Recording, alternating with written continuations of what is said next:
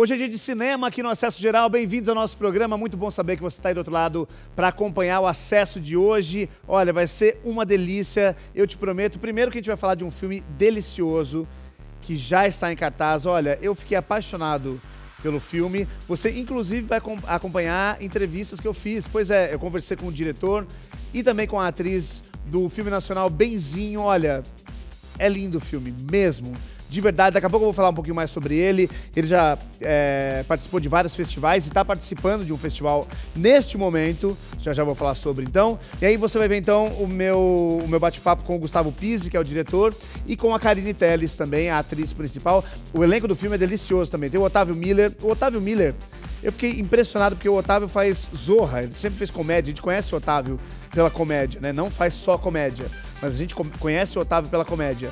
E ele tem uma cena tão emocionante nesse filme, e eu vou comentar com, com a Karine durante a minha entrevista com ela sobre essa cena, é belíssima. Tem a Adriana Esteves também no elenco, tem o Matheus Solano, enfim, uma criançada deliciosa atuando ali de uma maneira tão, olha, gostosa que você vai amar o filme. Já já a gente fala mais sobre ele, tá certo? E ainda no programa de hoje, eu falo, continuo falando sobre cinema no segundo bloco. E você sabe que geralmente a gente fala muito sobre os filmes comerciais que estão entrando em cartaz, né? É tubarão, é dinossauro, é pelicano gigante. Hoje em dia é tudo gigante. É o que mais que tem entrando em cartaz? Godzilla, é, Harry Potter. Não, Harry Potter não tem mais. Mas enfim, a gente sempre fala muito dos filmes comerciais que estão entrando em cartaz. Amanhã, no programa de sexta-feira, a gente vai, claro, falar sobre, o, sobre a programação no final de semana e as estreias. Mas eu preciso te dizer que Hoje a gente vai fazer um especial sobre filmes de arte. Tem dois filmes de arte entrando em cartaz aqui em Jundiaí no final de semana. Um, na verdade, um no final de semana e um na segunda-feira. E aí ele vai ganhar algumas sessões e você vai conhecer esses filmes, vale a pena. E o público pede, né? As pessoas, claro, querem se divertir, dar risada, ver filmes de aventura, entrar no, nesse clima de ação dos filmes, mas as pessoas querem se informar, querem aprender, querem pensar também um pouco além, né, do do dinossauro. Então já já a gente vai falar sobre isso, tá certo? Deixa eu lembrar você de casa para entrar nas nossas redes sociais. Não se esqueça, você não tem como se esquecer, né, gente? A gente está no programa 894. Se você se, esquecer disso, realmente alguma coisa aconteceu de errado. Eu deveria me esquecer. Não, não devo não. Seguinte, TV Tech Jundiaí em todas as nossas redes sociais. Você está no Facebook, no Instagram, entra no Twitter e também é o nosso canal do YouTube. Você entra lá no, no YouTube, se inscreve e coloca TV Tech Jundiaí. Pode assistir a todos esses programas que a gente fez ao longo desse ano e ao longo dos anos também. Então, os acessos todos estão por lá. É muito programa, né, minha gente? 894 é uma delícia. Que bom. Já já chegamos no 900. Ah, que delícia. Então, TV Tech Jundiaí. Tá certo? Curta também a nossa página lá no Facebook. A gente ama quando você compartilha essa sua alegria com a gente, é, pode criticar, pode conversar, a gente gosta mesmo, tá certo? Bom, começar o programa de hoje falando sobre Benzinho, este filme lindíssimo que está entrando, tá entrando em cartaz hoje em todos os cinemas do Brasil. Vale muito a pena você assistir. Como eu disse no começo do programa, é, é um filme que participou de vários festivais internacionais. Esta semana ele está participando do Festival de Gramado, tá? Uh, foi exibido no final de semana por lá. E agora, neste sábado, no próximo sábado agora, é que vão sair os vencedores. Eu torço muito para Benzinho levar algum Kikito para casa, ou alguns Kikitos. Kikito é o prêmio, é tipo Oscar, lá do Festival de Gramado. Porque é um filme que fala... É um filme simples, simples, que eu, eu quero dizer, uma história simples, mas que diz muito para a gente. Fala muito sobre as mães é, e a síndrome do ninho vazio. Sabe qual que é essa síndrome?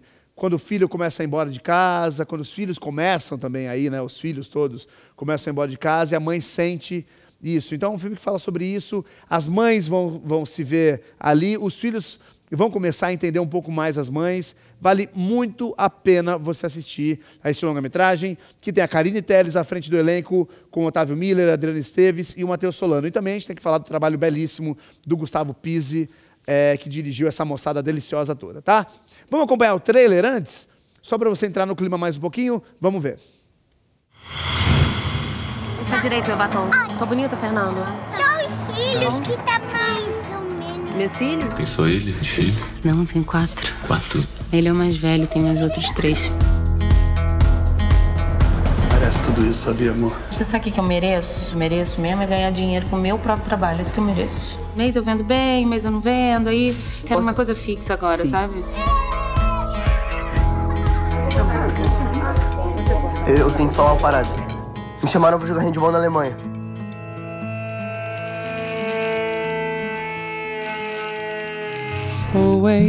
Daqui a dois anos ele vai ser outra pessoa, vai chegar aqui e não vai nem conhecer a gente. Muita papelada pra gente agilizar. É o visto, o passaporte, título de eleitor, ele vai ter que emancipar. Emancipar por quê? Tem um primo que foi pra Berlim e não voltou nunca mais. Nunca mais bateu o pé aqui nessa terra.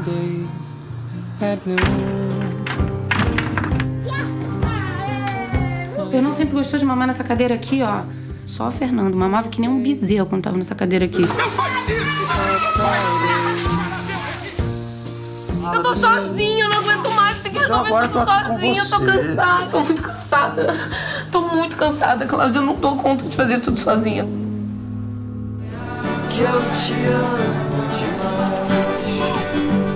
Acabei de saber que eu vou me formar. Se a senhora puder ir, vou ficar muito feliz. Tô achando que vai dar uma reviravolta no nossa vida. Sempre em frente. Mãe, não fica preocupada não, tá?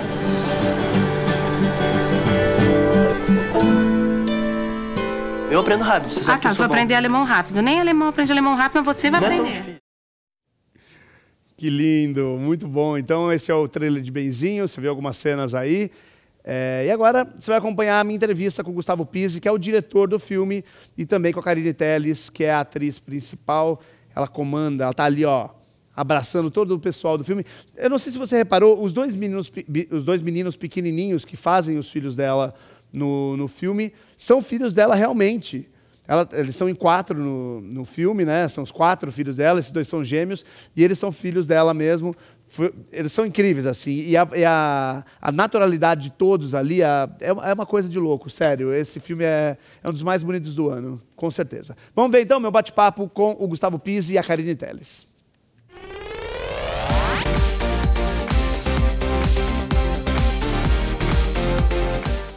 Gustavo Carini, diretor, atriz do filme. É, vamos falar de Benzinho. Eu quero começar falando do Festival de Gramado, né? Que foi recentemente exibido o filme por lá. Como é que foi a recepção de vocês do filme? E eu quero também saber uma coisa, já incluindo essa coisa dos festivais. Como é que foi a recepção no exterior? Porque eu sei que as pessoas te agarram, elas te abraçam, querem saber sobre o filme. Queria que vocês falassem um pouquinho sobre isso também. Foi muito especial em Gramado, que foi a primeira vez que o filme foi exibido no Brasil, né? E você ter essa relação com as pessoas que entendem tudo que está sendo dito ali, né? As frases, o jeito de falar, as pessoas se relacionam diferente aqui. É, ontem foi a, a, a pré-estreia no Rio, por exemplo, e também os amigos todos, e a família, e, e não amigos, e, e próximos, e que, que, que você entende um jeito diferente da, da relação. O filme foi vendido já para mais de 20 países, foi estre- estreou em Sundance e foi muito caloroso fora do Brasil também. É, e que surpreendeu bastante a gente. As pessoas no final das sessões vindo chorando, falando desde de, de, de mulheres que têm os filhos que estão prestes a sair de casa ou que acabaram de sair, mas também jovens que acabavam a sessão e ligavam: Mãe, eu te amo, eu saí de casa ano passado, eu, eu, é", chorando, e sabe? Isso no exterior No mesmo. exterior, mas aqui É, nos Estados diferente. Unidos é muito comum, né? Os adolescentes sempre saem de casa para estudar nas faculdades, eles vão morar nas faculdades, isso é super comum. Então, eles se identificaram muito com esse momento. Tem muito. é, As, as mulheres têm é, essa identificação, os pais também, mas os adolescentes, os jovens, né? A gente estava lá no Festival de Sundance, que é uma cidade que tem muita gente de fora que vai para lá para trabalhar. E, então tinha muita gente que se identificava com essa coisa de sair de casa, assim, eu fui abraçado, eu estava abraçado, eu estou chorando. É isso que eu queria saber, por isso que eu te perguntei, como é que foi essa relação com o público? As pessoas te abraçavam emocionadas Muito, por essa relação de muito. mãe e filho, como é que foi? Muito, aconteceu muito. As pessoas. Todo mundo tem mãe, né, gente? Todo mundo, né? Por mais que, sei lá, algumas pessoas podem ter sido criadas sem a mãe, mas tem essa figura da mãe é uma figura muito emblemática, muito importante na vida de todo mundo. E eu acho que a Irene é um retrato muito carinhoso, muito afetuoso e muito honesto do que é ser mãe, essa confusão em que um momento você tá vivendo um super amor, uma alegria, brincando com seus filhos. No outro, você tá querendo morrer porque você acha que você não vai ser capaz de dar conta daquele trabalho. É, é muito intenso, né? É muito difícil. Então eu acho que o filme retratando ah, com tanta honestidade essa mulher é, gera uma identificação muito grande nas pessoas. Todo mundo que tem mãe se relaciona com, com, com, com, aquela, com as coisas que acontecem com aquela mulher. E esse é um momento que acontece em todas as famílias. Espera-se né, que as pessoas consigam sair de casa em algum momento. Então é uma história simples banal, comum, mas eu acho que o que tem de extraordinário no filme é justamente o cinema né? É contar essa história simples, comum e banal, usando o cinema como ferramenta poética, né? que você cria empatias e cria emoções com som, com imagem. É... E eu acho que isso faz com que o filme seja compreendido em muitos países. Agora, nesse momento, ele está em cartaz na República Tcheca. Quando que você ia imaginar, entendeu? Que as pessoas na, na República? Tcheca, está em cartaz na Espanha. Tá em, 46 não, salas na Espanha. A gente, ia ser, ia ser delícia, né? É, é, a gente ganhou o Festival de Málaga, que é um dos maiores festivais da Espanha. E aí com isso o filme foi distribuído lá e tá em cartaz há duas semanas, num circuito super bacana no país inteiro, assim. É muito legal, muito emocionante pra gente. Na coletiva que a gente fez antes da, das entrevistas individuais, a gente estava, obviamente, a gente falou muito mais coisas do que a gente vai conseguir falar aqui, mas a gente falou da história do pai, da relação do pai com os filhos. Sim. E aí você falou uma coisa que que eu fiquei pensando muito depois sobre, que era como o pai talvez fique pensando muito no dinheiro, está mais preocupado com isso e não tem essa relação tão, tão carinhosa com a família. Eu senti diferente, eu senti um pai carinhoso e preocupado também sim, sim, com a sim. família. Eu acho que é a maneira dele expressar, talvez. E talvez eu acho que você tenha feito uma comparação de como a mãe se doa muito mais, Sim. talvez porque ela está em casa, e, e, ele nem tanto. É mais ou menos isso? Não, totalmente isso. É porque o Klaus é um pai queridíssimo, ele é um fofo. Ele é maravilhoso. Ele é maravilhoso, mas ele não está presente. Ele ajuda. Ele né? divide. Ele eventualmente ajuda. Ele nem é. aparece ajudando no filme em momento nenhum, né? É. não tem lavando uma louça, não é. tem ele tirando uma talher da mesa. Meu, senão ele teria arrumado até a porta, né? Que é, ele vai falar, deixa. É, exatamente. Tudo na vida dá certo uma hora, né? Exatamente. Tudo na vida dá certo uma hora. Mas isso, ele é um querido, ele é um, ele é um cara muito legal, né? Ao contrário de. A gente sabe que tem muitas histórias horrorosas, onde o pai não consegue nem ser carinhoso, o Klaus não consegue ser carinhoso. Mas ele não está presente, ele não está vivendo o dia a dia da família. Entendeu? Ele não sabe cuidar da casa, ele não sabe resolver as questões. Ele acha que o único papel dele é conseguir trabalho, é conseguir prover. E é o que a sociedade exige do homem e é o que a sociedade exige da mulher. Acha que porque nasceu mulher, nasceu sabendo cuidar de casa. Não é verdade, a gente tem que aprender tudo. Se a gente pode aprender, os homens também podem aprender, né? Claro. É, eu acho que é, é disso que eu estava falando, assim, porque ser querido e ser carinhoso não é criar emocionalmente um filho, não é educar emocionalmente, não é estar presente. A presença faz muita diferença, tanto na alegria quanto no desespero. Eu acho que é, a gente pensou sobre isso, falou, pô, tem uns momentos no filme que a Irene perde um pouco a linha, né? Que ela estoura, que ela briga, que ela. A gente ficou pensando e falando, pô, será que isso não vai depor contra a personagem? Não, faz parte, faz parte do amor, entendeu? Faz parte do amor. Todo mundo que tem mãe viu a mãe passar por um momento daquele, né? Assim, então é, é, o pai não passa por isso. O pai não tem esse privilégio. É muito raro. Hoje em dia a gente vê em algumas famílias isso começando a mudar. Mas mesmo assim, ainda é muito pouco, é muito raro. E é, é um privilégio gigantesco. E é muito importante. Eu acho que um, um menino, principalmente um menino que cresce com um pai presente, jamais vai ser um homem machista. Jamais vai ser um homem preconceituoso. Com certeza. Né? Com certeza. Não vai. Ele vai ser o cara que enxerga as coisas de uma outra maneira. Então eu acho que essa transformação é uma transformação importante para o mundo. E falar que o Otávio Miller tá maravilhoso, tem uma cena no carro que ele emociona, que é lindíssima. Só pra gente terminar, eu preciso saber da relação de vocês, porque vocês têm uma relação, e isso, claro, acho que o, o, Gustavo é, comandou muito bem, mas essa relação de família que vocês demonstram pra gente, que mostram que, e que passa na tela. Você, Adriana, os seus filhos que estão ali, né? Uhum. Os filhos de vocês. Enfim, todo mundo tem uma relação muito forte e muito bonita de união. Como é que, como é que rolou isso entre vocês? Essa, é, é, foi ensaios? Como é que rolou? É uma construção é, de muito tempo ali, né? De muito trabalho para esse simples, que parece simples, né, é, é acontecer de fato, né, para essa interação acontecer. Então a gente começou um processo de ensaio é, é, com pequenas coisas, de trocas, de estar tá junto, é, é, ensaios mais específicos, improvisações. As crianças, por exemplo, é, eu nunca dei um roteiro para elas decorarem nada, mas eram situações que a gente foi improvisando, improvisando, improvisando, até chegar num lugar que eles estavam quase falando o que estava escrito no roteiro. É, a cena, por exemplo, do, do que é uma, uma das cenas que eu mais gosto no filme, que são é o Rodrigo, que é filho do meio, dando comida para os pequenos, que ele fica responsável pela casa naquele momento. E, e, os pequenos ficam naquela situação de, não, não vou comer, e o outro quer dar. Eu falei, olha, é, você, Luan, o Rodrigo, vai, que, que faz o Rodrigo, você vai falar, vai tentar convencer eles de qualquer jeito que eles têm que comer é, a comida. E lá chamei os pequenos, ó, ele vai tentar de tudo, mas vocês não podem comer de jeito nenhum. Vai, ação sabe? Então isso cria uma troca ali é, é, dentro dele, dentro dessas situações, né? E é, a família vai sendo criada, né? A partir desse processo de ensaios, por mais que tenha é, é elementos que de, de, de pessoas, é, esse elemento de, de, esse elemento familiar, você tem tá na frente de uma câmera. Quando você bota uma câmera na frente de qualquer pessoa, você está atuando. Então é, é, já, você já não está naturalmente ali tranquilo, relaxado. Então é, é, é um processo de construção mesmo. E o mais importante é que a gente se sente como uma família também. Isso é muito bom. 23 de agosto nos cinemas Benzinho. Por favor, assistam, porque é lindíssimo. Vale a pena para a gente refletir, pensar um pouco nas nossas mães, nos nossos pais, em todo mundo. Gente, muitíssimo obrigado. Sucesso. Valeu. Obrigada.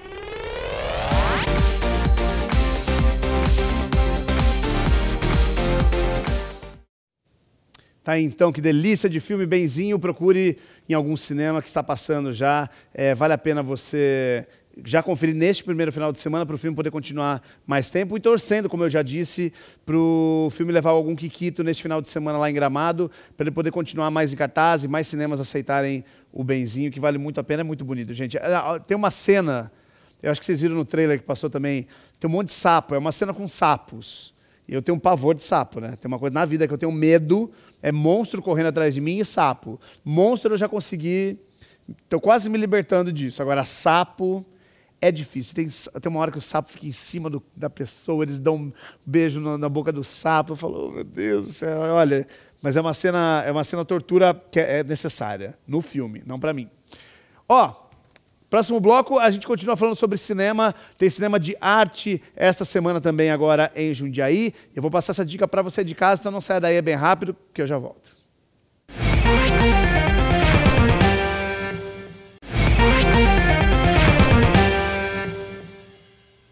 Eu já estou de volta com o Acesso Geral. Hoje é um programa especial sobre cinema. Eu falo que é programa especial porque eu gosto de falar que é especial, porque na verdade quase toda quinta-feira a gente fala sobre cinema aqui no programa, né? Então é um programa. As quintas-feiras falamos sobre cinema. São quintas especiais do cinema, vamos chamar assim, certo? Mas ó, amanhã é, a gente também vai falar sobre cinema, tem as estreias deste final de semana, então não perca. Tem as estreias, tem a Mila Kunis. Ah, é a Mila. O que, que você falou que ela era, Rafa?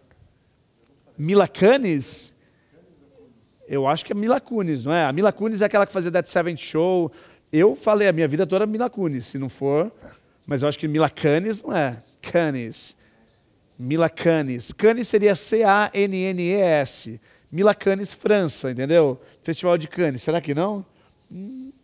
É Mila Kunis, a, a Thalia falou aqui no meu ouvido. Obrigado, Thalia. Então, Rafael, pegue seu banquinho e saia de mansinho, cara. Você errou você errou. Mila Kunis, então, amanhã está nos cinemas, mas eu não vou falar o que vai ter no programa de amanhã. Assiste. Não, posso até fazer um, um, rapidinho aqui, ó. Tem cinema, a gente vai falar da agenda de shows do final de semana. Tem muito show legal em Jundiaí. Tem desde sertanejo até MPB. Enfim, tá uma delícia. E tem também o Bruno Dalmor. O Bruno, ele vai estar no programa de amanhã falando sobre a participação. Ele vai falar, claro, da, da, dos trabalhos dele, mas ele vai falar da participação dele no Canta, Com, Canta Comigo, aquele programa do Gugu. Ele vai contar como é que foi. Eu imagino, deve ser uma loucura. Porque você, imagina só um, um The Voice. The Voice são quatro virando a cadeira para você. Um Canta Comigo são cem para levantar. Deve dar um medo, eu não imagino como seja, mas amanhã no programa ele vai falar. Tá bom? Então não perca às seis e meia da tarde. É, vamos ver como é que foi esse negócio. Mas amanhã, porque agora a gente vai falar de cinema de arte aqui no programa. Olha só, além das estreias que você vai ver amanhã no programa, tem também os filmes de arte estreando nesse final de semana.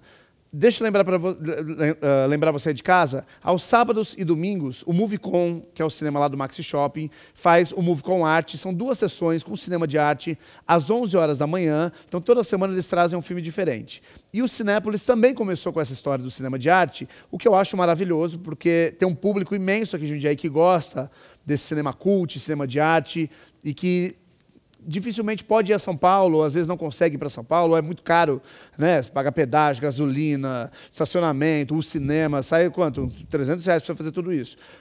Nem tanto, mas mais ou menos sai uns 100, 150 reais, sei lá, 100 reais, para você poder fazer isso. Então, ah, os cinemas de Jundiaí estão trazendo esses filmes e são filmes incríveis. E o mais legal, o que eu gostei, é que além do cinema do filme francês que vai ter no Movicon esse final de semana, o Cinépolis vai trazer um documentário. Olha que legal, é tão difícil de assistir documentários aqui eh, nos cinemas de Jundiaí, né? Eu acho importantíssimo, tem filmes incríveis eh, passando e que merecem ser vistos. Esse final de semana tem um filme muito legal que se chama As Histórias que o Nosso Cinema Não Contavam, que é um documentário também que conta um pouquinho do cinema daquela pornô chanchada da década de 70, final de 60, 70, que é muito legal também, começo dos anos 80. Tem umas coisas lou- louquíssimas, gente. Louquíssimas. Mas isso é um outro assunto, outro, outro dia a gente fala sobre. Vamos conferir então os filmes deste final de semana.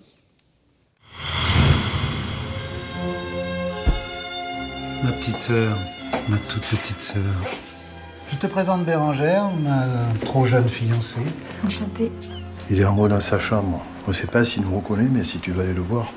Il y a un espoir de guérison? Non. Je tente avec ce resto de continuer dans l'esprit de papa, avec des petits prix pour les gens qui ont peu d'argent. Mais là, j'y arrive plus. J'étais génial tes pâtes. Je ne fais que les recettes de notre père. Uma casa à beira-mar é a atração do Movicon Arte deste final de semana.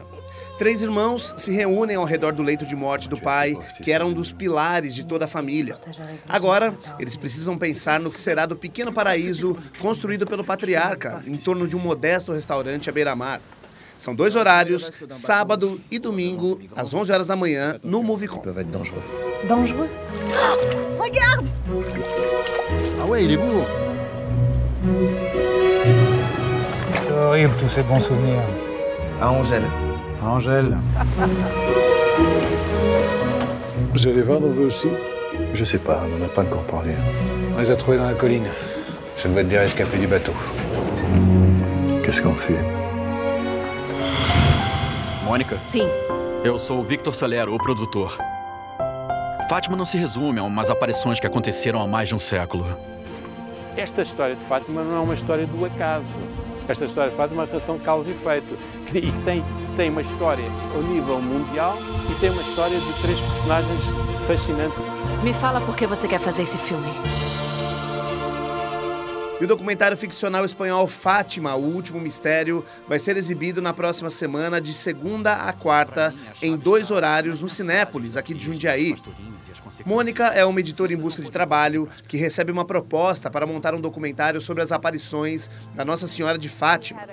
Ainda que em dúvida por sua falta de religiosidade, ela aceita o trabalho e as imagens que encontra são extraordinárias e marcam sua vida para sempre. nos salvar de nossos erros e por isso nos envia a Virgem.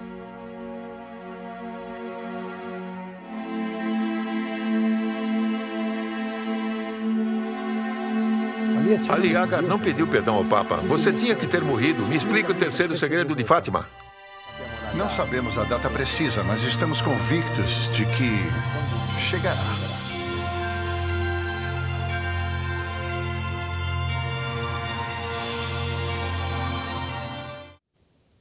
Muito legal, né? Que bom que os cinemas daqui de Jundiaí estão dando atenção a esses, esses filmes que poucas vezes conseguem chegar às salas. Porque é um filme tipo, como eu estava falando no começo do programa, Dinossauro, esses filmes todos gi- gigantescos, eles chegam a 2.500, 1.500 salas. É uma loucura, né? O, o tanto de sala que esses, esses filmes chegam. E esses outros filmes dificilmente chegam, como Benzinho, por exemplo. Dificilmente Benzinho vai chegar a 1.500 salas. Tomara que um dia a gente consiga, né? que esse cinema eh, de arte chegue a tanta gente que as pessoas gostem e prestigiem e discutam sobre, que isso que é importante. Vou ficando por aqui. Ah, virou assim sem me avisar? Ou eu enganei você você quis virar assim e eu dei um- uma piscadinha de lado? Aham, você está me enganando. Olha só, amanhã eu tô de volta, seis e meia da tarde. Não se esqueça, estamos aqui segundas, quartas, qui- Segundas, quartas, quintas e sextas. Eu sempre confundo. Sempre seis e meia da tarde, mas tem reprise durante a programação. Tem no YouTube, ou seja, não tem como, gente. Abriu a geladeira, ó. Eu tô ali, ó. Oba! Tô em todo lugar. Um beijo para você. Até amanhã. Tchau.